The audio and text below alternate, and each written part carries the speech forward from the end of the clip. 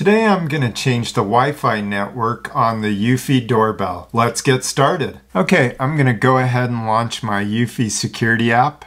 And as you can tell, my doorbell is offline. On the doorbell section, go ahead and touch the three little dots in the bottom left-hand corner. Then tap Settings or the gear icon. Then tap General.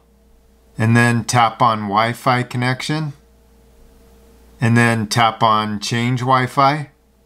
And I need to do a long press on the doorbell for at least five seconds.